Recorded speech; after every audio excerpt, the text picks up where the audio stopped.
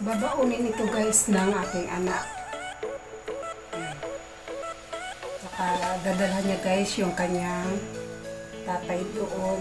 Eh, nagkatabi lang sila sa trabaho. Kaya papadala ko na rin guys ang aking asawa. Papadala ko sa anak ko ang ulam.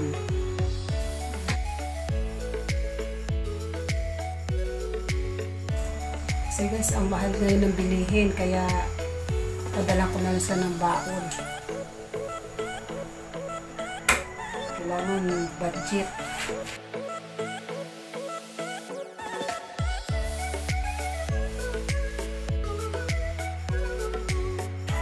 Hindi ko na siya guys dinalatan yung luya. Panigasan ko naman guys.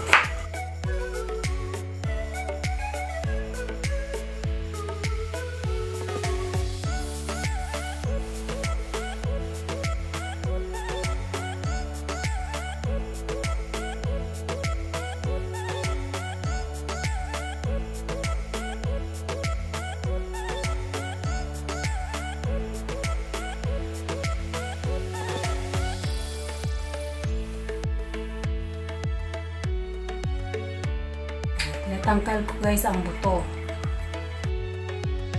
Kailangan natin tanggalin yung buto. Buto ng kamatis.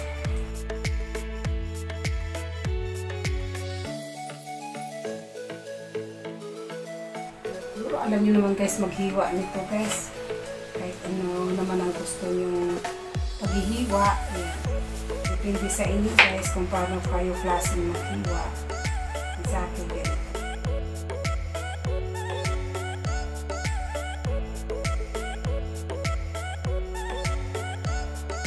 Ilalagay natin guys ang isda dito sa dahon.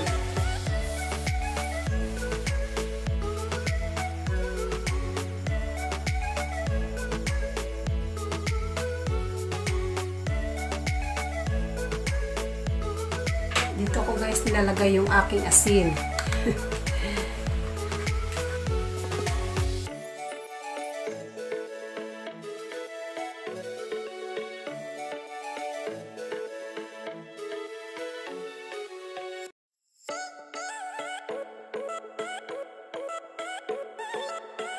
Talian lang natin siya guys.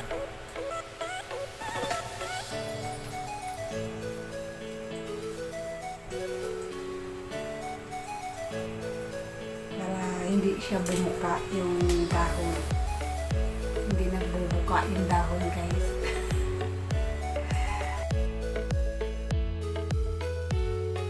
Tapos guys, ilalagay na ilalagay na natin dito sa kawali.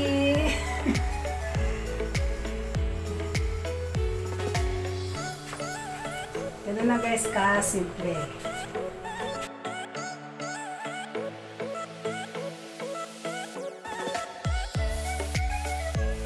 Ito guys, lalagyan din natin sa sa loob ng mga ingredients para yung lasa niya naka ano talaga sa naka-mix talaga sa isda. Mapupunta ang lasa niya guys sa isda. Kasi nakabalot siya guys sa dahon.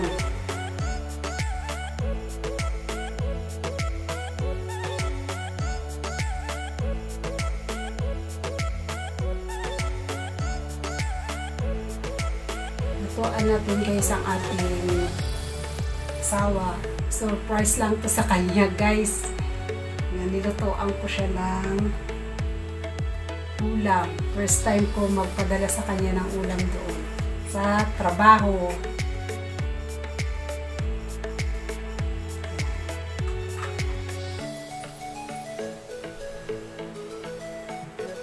Tingnan natin guys kung ano masasabi niya sa padala kong ulam. Papadala ko to sa aking anak.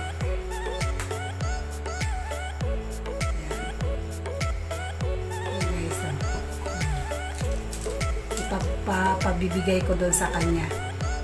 Ito guys, ang anak ko, ganito din baon niya.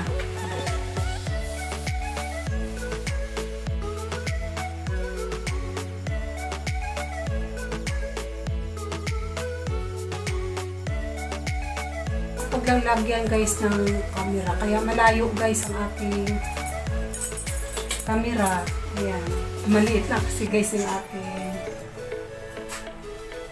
kusina. Ayun siya guys.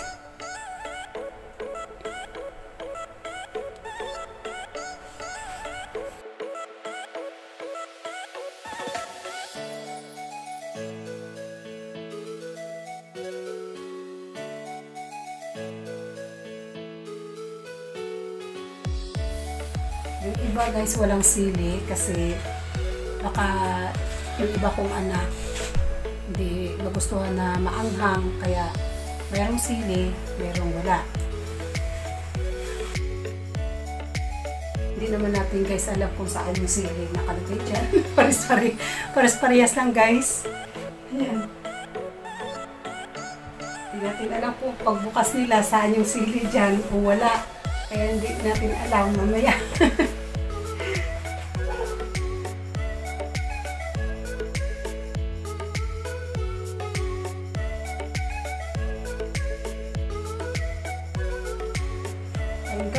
guys, last na lang. Matatapos na ako. Kabalot ng isdang binalot sa dahon.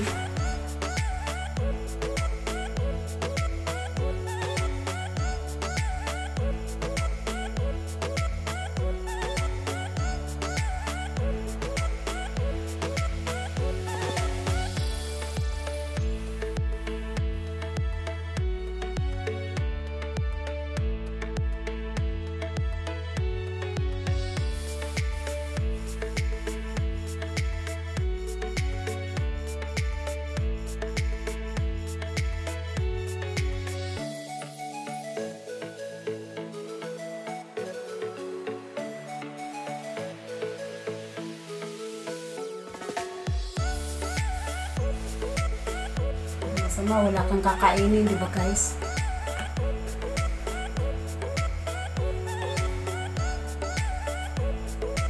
Yan, ang binalot ko guys.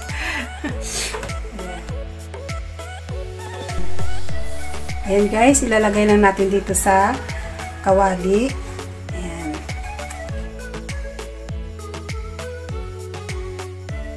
Guys, tapos guys, ilagay nyo lang ito sa taas. Yan.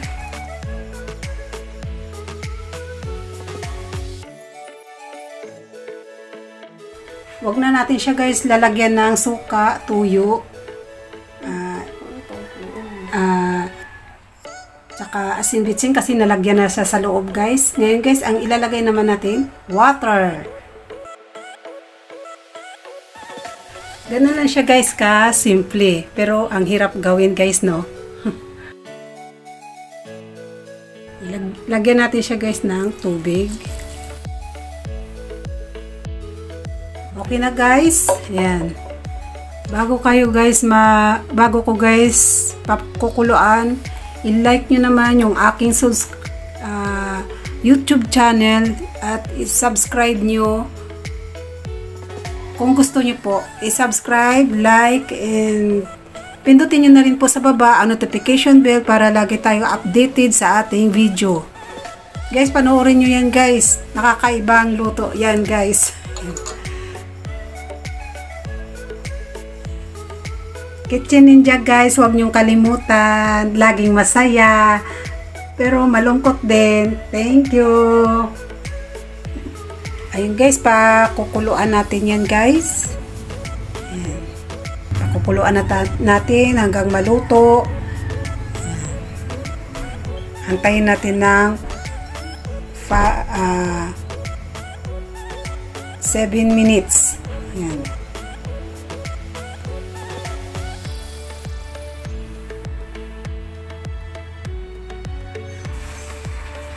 Okay na guys, pakuluan na natin.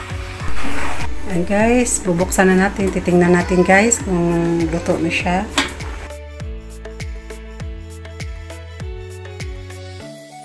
Tikman natin guys.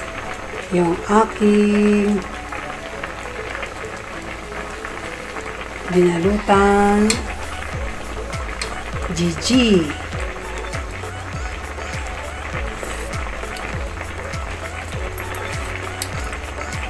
Mm. Masarap guys.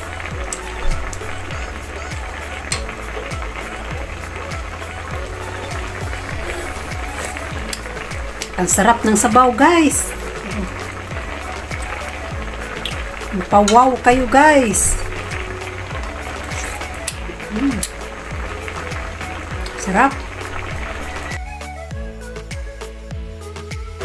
Sarap balik-balikan. Tikman.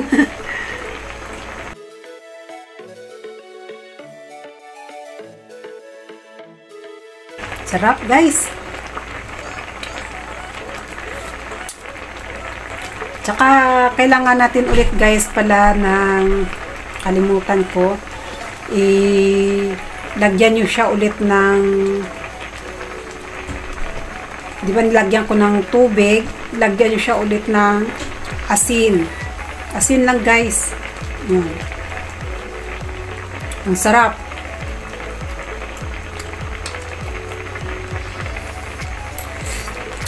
Siksik na siksik ang lasa guys. Sa lalo na nakabalot sa dahon. Lumabas yung lasa niya. Ang sarap talaga guys. Balik-balikan ninyo guys. Napakasarap. Mm. Ang sarap. Binabalik-balikan ko nga guys oh. Kakatikim.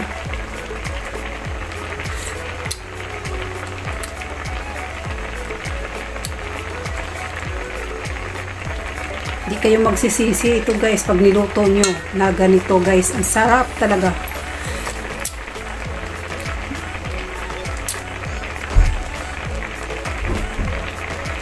Yung mahilig nito sa isda, ilagay nyo po sa dahon, magugustuhan ng inyong mister. Yan.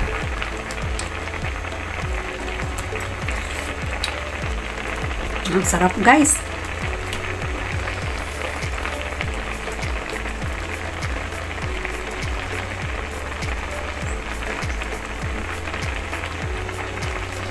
Guys, ihaing na natin. Paglalagyan ko na ang aking anak tsaka papa nila. Yan, ang aking mister.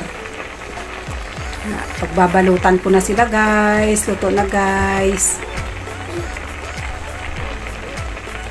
Papatayin ko na guys ang kalan. Yan. Huwag nyo guys kalimutan guys. Kitchen Ninja Vlog.